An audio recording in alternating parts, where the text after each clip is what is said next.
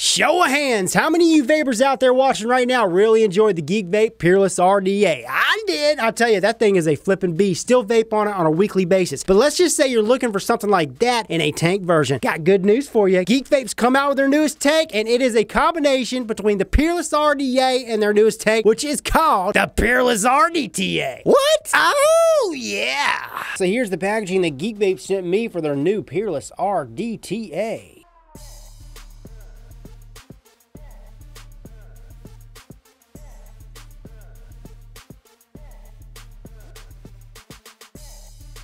And of course, inside that packaging, you're going to receive your Peerless RDTA. You get an extra glass tank, a ceramic slash silicone block for single coil mode. You get two pre-built spaced braided coils. And last but not least, you receive a baggie of extra goodies, a buku O-rings, a tri-tool, two PEEK inserts for your fill port, some extra screws, and with mine, I received a stainless steel 510 drip tip adapter. Now onto the Peerless RDTA, primarily made of stainless steel. Seen a bunch of different color options. I'll post a picture right here so you can see, yeah, it's a bunch of different color options, but she's 24 millimeter in width and about 42 millimeter in length. At the base, she's got a majorly protruding gold-plated 510 pin, so you can easily use this sucker on your hybrid top cap devices. She's got smooth 510 threads. Also at the base, she says, Peerless RDTA, designed by Geek Vape. At the top of this device, it comes with an 810 Delrin drip tip. Inside there, embedded is a clearish O-ring. Everything about this device, by the way, is beautifully machined. On the side, you guys saw it, but it's Peerless engraved. And again, this is straight out of the packaging, guys. Clean, clean, clean, clean, clean. Wouldn't expect anything less from Geek Vape, but yeah, this drip tip fits snug as a bug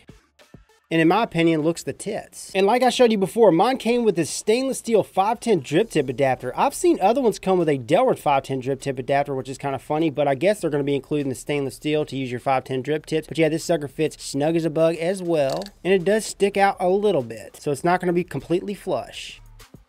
So yeah, with this device, it's got dual direct adjustable airflow. You grab a hold of the ring and you twist and turn, and whatever you adjust on this side is going to be the same on this side. You can close it off all the way. I don't know why you'd want to do that, but you can do it if you want. You can open it up, open it up, open it up. Again, whatever you adjust is going to be the same all across the board. And it does spin in 360, so it does not stop in one direction or the other.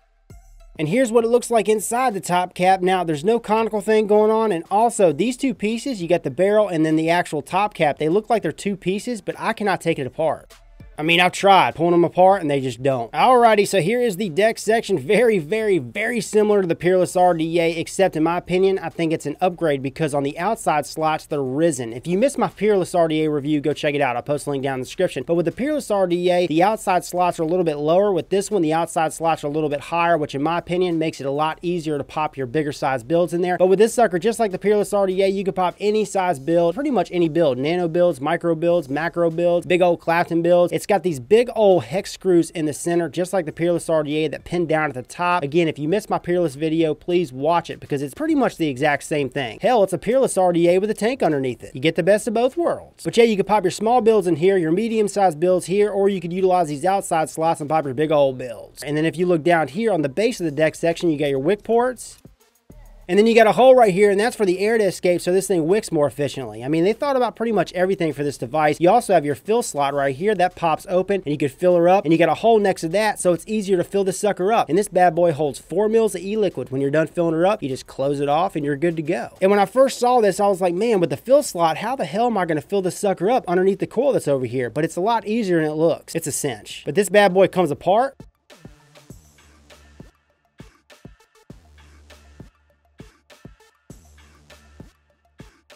You got your Phillips head screw down here, and that screws into the negative connection. Oh yeah, here's the positive connection, hence your PEEK insulator, your dual O-rings on the deck lip. But yeah, you could swap out the tank. So with this Mamma Jamma, you can run it in dual coil mode or single coil mode. Again, they include the ceramic slash silicone plug. Just plug up one side and then rock your single coil. And today with my Peerless RDA, I'm rocking just a medium size fuse style Clapton build. Again, I'm utilizing these bottom slots in the middle. Get them glowing from the inside out. Oh yeah.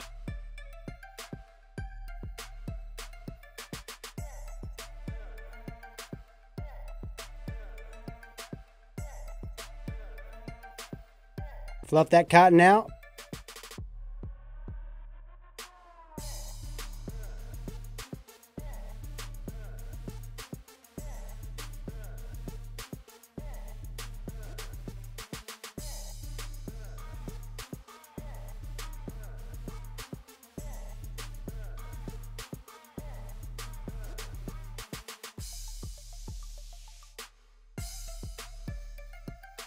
And I don't know if you guys can see that, but see how the cottontails are just peeking barely peaking. That's the way I like it. Pull open the top fill lever, and this top fill works the best in my opinion with unicorn tips. You could pop your glass jobbers in there. They fit actually perfect, but I just like my unicorn tips better. Close it off. Juice the coils up just a little bit. Pop the top cap back on there and I'll line up my slots with the coils. Oh yeah, and as you guys can see, it's hitting directly in front of each coil. It's hard to see it. Now again, you could drop your coils, you could raise them up, you can make it to where the airflow hits the bottom half of the coil, the top half of the coil. It's all up to you. All this is subjective. First things first, vape quality. Got this tank sitting on the Charon TC218, my favorite mod to date. It hits like a truck full of freaking dildos. But yeah, the build that I've gotten here, dual build reading at 0.1 ohms, vapor only at 65 watts, got the airflow wide open. That is the perfect amount of airflow for this device to me. All this is gonna be subjective. It's not too much airflow. It's the right amount of airflow. It's like almost restrictive, but not. It's like in between. Does that make sense? But yeah, wide open 65 watts, you guys know the drill.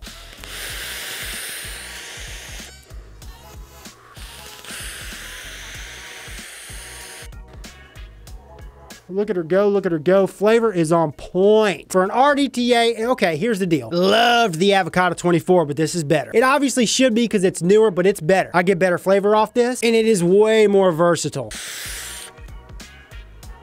yeah, man, this is good. It's a good RDTA. It's definitely a winner winner chicken dinner. How does it compare to the new Vandy Vape Pyro RDTA? They're totally different. Other than the fact they have tanks underneath them, the deck sections are totally different. It's a lot easier to build on the Vandy Vape Pyro RDTA in my opinion. But as far as flavor, ooh, I think this one edges it just a little bit. It's all about what you're looking for though. You want a postless deck or you want a peerless RDA type deck? So here she is with the airflow wide open.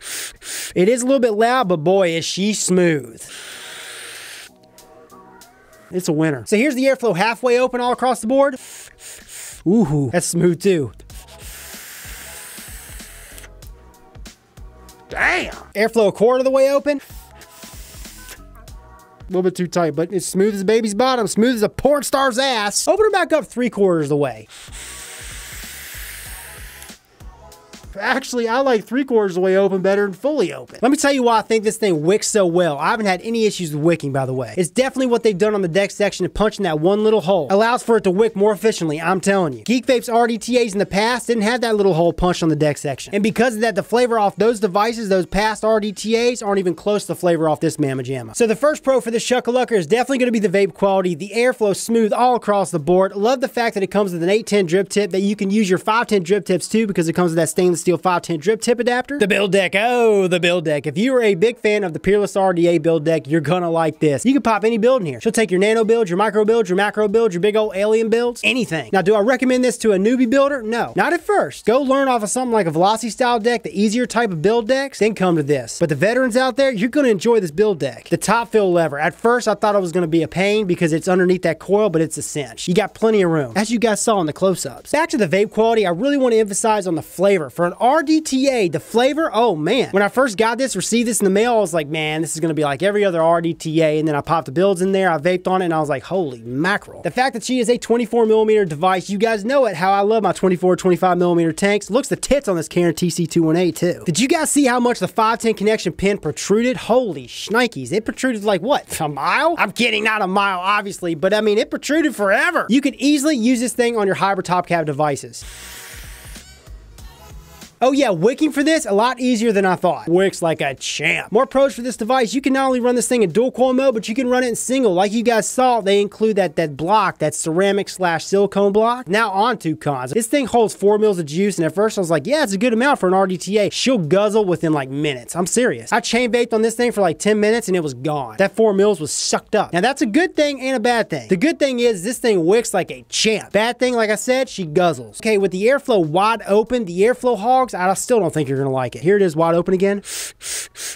I mean, the airflow hogs want something that's super open, like you're almost breathing, right? Well, you're going to get restriction with this. So if you're an airflow hog looking for an RDTA, you might want to skip this one. This is for the nice, smooth, whooshy, whooshy, restricted type lung hitters. You dig? And then the last con that I found for this, and this is going to be subjective, the top cap and the barrel don't come apart. Price point, price point, price point. Okay, prices I'm seeing online, average price 35 to 37 bucks. I'll post links down in the description to the sites, the credible sites I know of that will be selling or are selling selling this Mamma Jamma. Now on to the big question, the big answer of the day. Which one of you vapers out there do I highly recommend this to? This is for the vaper looking for one, an RDTA, two, a dual coil, preferably a dual coil RDTA. Dual coil mode is the way to go for this. Three, if you love the Peerless RDA, but you're looking for something like the Peerless in the tank mode, this is for you, man. And all the other stuff that I mentioned, the pros, if you're looking for all those pros out of an RDTA or out of a device, this is definitely who I highly recommend that to. So I hope you guys enjoyed the video, liked it, found it entertaining and helpful. If you did like this video, well then like it down below. And if you want to see more of me, subscribe for this is Rip Trippers, and remember, smoking is dead, vaping is the future, and the future is now.